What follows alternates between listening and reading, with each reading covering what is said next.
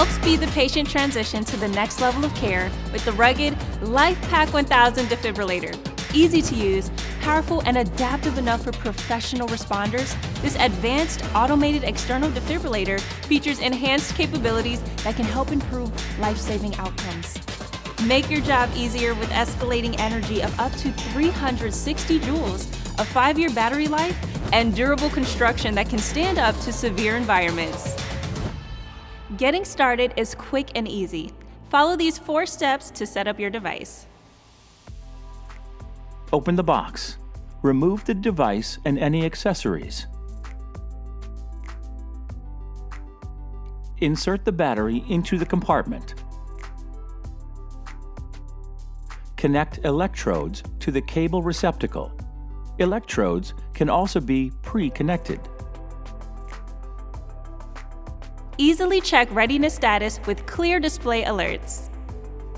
The wrench symbol indicates an existing condition that prevents or could prevent normal defibrillator operation. The OK symbol means the device is ready to use. The battery symbol displays how full your battery is. Perform better in noisy environments with clear audio voice prompts and tones. Stand clear. Turn the device on or off using the green power button. Pressing the shock button when flashing delivers a shock to the patient. Choose between manual or AED operating modes and enter information in setup mode using the menu button. The LifePak 1000 features a single battery to reduce extra weight and bulk. Make quick selections while using the defibrillator with two convenient soft keys, identified by labels on screen. The large LCD screen displays pertinent information during all modes of operation. Get easy access and direct connection to the ECG cable, infant child electrodes, and quick combo therapy electrodes. The LifePak 1000 combines the simplicity of an AED with clear guidance with the flexibility of manual mode for more advanced rescuers. When purchasing your device, choose between a graphical or three lead ECG display, depending on your needs. Both versions feature a large LCD screen with a shock counter and CPR countdown timer. The ECG display offers ECG monitoring and manual mode for trained professionals to determine when to shock the patient. To access setup mode on your device, press and hold both soft keys while pressing the on off button. The default passcode is 0000 and can be changed inside setup mode. Configurations include energy sequence, CPR time, pulse check, ECG display, for three lead ECG devices only. Auto Analyze, Motion Detection, Prompt Volume, and Service Alert Alarm.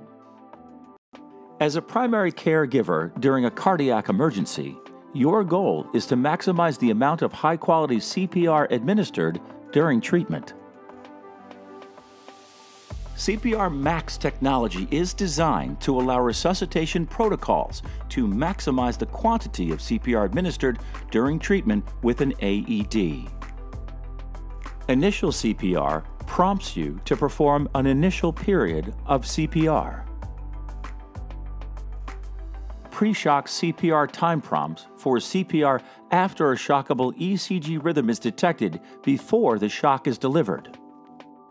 CPR time 1 and 2 indicates the CPR time periods after shock or no shock advised decisions. Stacked shocks eliminate the analysis after each shock and insert CPR prompts after each shock. Pulse check indicates when, if ever, the device prompts for pulse checks. The Shock Advisory System, SAS, evaluates the patient's heart to quickly determine if there is a shockable rhythm. 1. Confirm the patient is unresponsive, not breathing, and without a pulse. Begin CPR if these criteria are met. 2. Turn on the defibrillator. Voice prompts will guide you through the rescue process. Analyzing now. Clear. 3. Prepare the patient for therapy electrode placement. If possible, place the patient on a hard surface away from standing water. Remove clothing from the patient's upper torso. Remove excess hair from the electrode sites if necessary. If shaving is necessary, avoid cutting the skin. Clean the skin and dry it briskly with a towel or gauze. Do not apply alcohol, tincture of benzoin, or antiperspirant to the skin. 4. Open the therapy electrode packet and remove the electrodes. Slowly peel back the protective liner on the electrodes, beginning with the cable connection end. Safely discard the liner to prevent slipping. 5. Apply the therapy electrodes to the patient's chest. Starting with one end, press the electrodes firmly onto the patient's skin as shown. 6. Connect the electrodes to the defibrillator if they are not already connected. 7. Follow the screen alerts and voice prompts for user friendly instructions. For pediatric patients, use the Infant Child Reduced Energy Defibrillation Electrodes. These pediatric electrodes will attenuate or reduce the energy delivery of LifePak 1000 by a factor of 4. Manual mode overrides AED mode for operator initiated analysis, charge, shock, and disarm functions. Manual mode can be used when taking over from basic providers. To do this, 1. Press the menu button. 2. Select Yes to enter manual mode. The ECG trace and heart rate indicator appear on the screen. 3. If the displayed ECG rhythm appears shockable, press Charge. The screen will indicate charging and a tone will sound. 4. Clear everyone away from the patient, bed, or any equipment connected to the patient. 5. When the charge is complete, press the flashing shock button to deliver energy to the patient. 6. After delivering the first shock, the energy for each subsequent shock is automatically selected based on the energy level configured. The LifePak 1000 defibrillator can be set up to display an analyze soft key when in manual mode. 1. Confirm the patient is unresponsive, not breathing, and without a pulse. Begin CPR if these criteria are met. 2. Press Analyze. 3.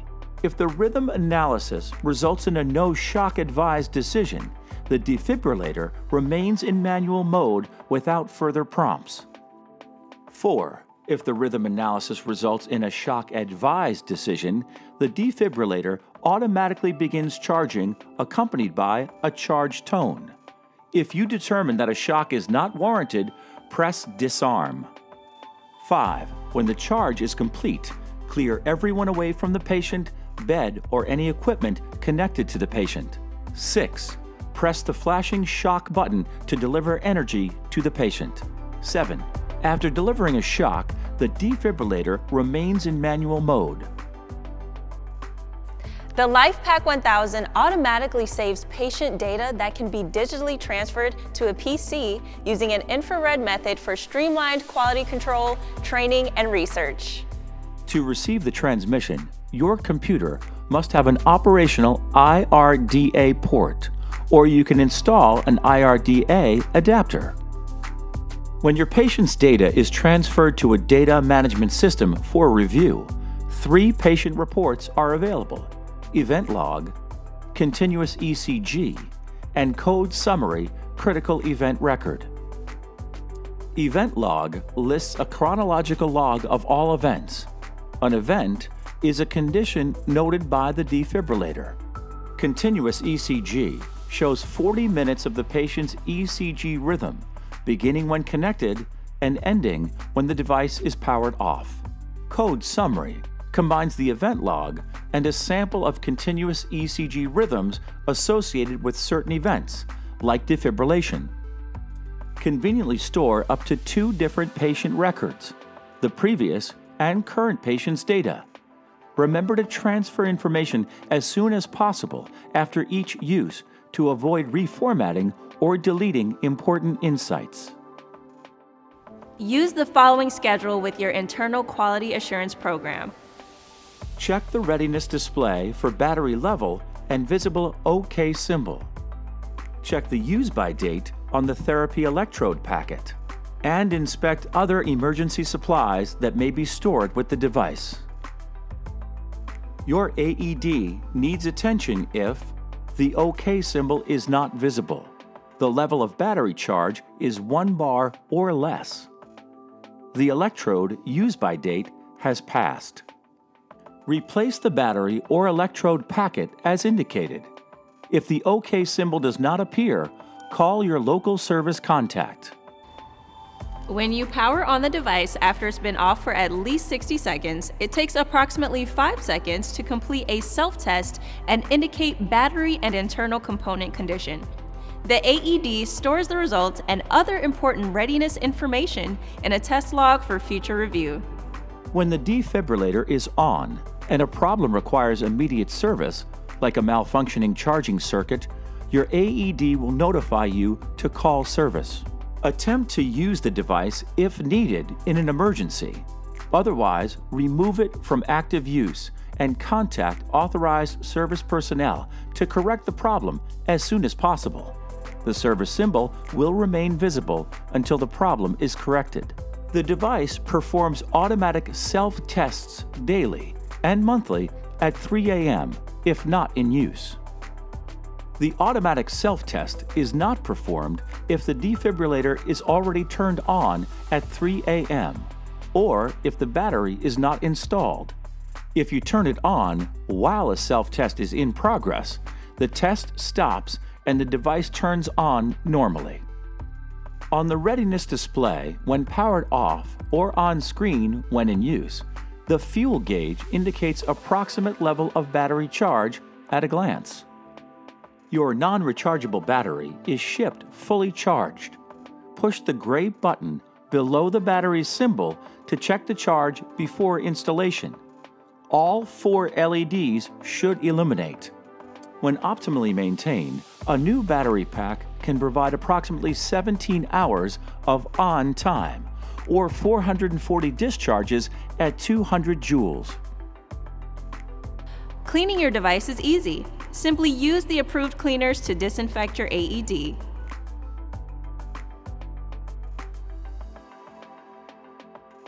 To help prevent therapy electrode damage, only open the electrode package immediately before use. Slowly peel back the protective liner on the electrodes, beginning with the cable connection end. Do not trim therapy electrodes. Do not crush, fold, or store electrodes under heavy objects. Store therapy electrodes between 15 and 35 degrees Celsius or 59 and 95 degrees Fahrenheit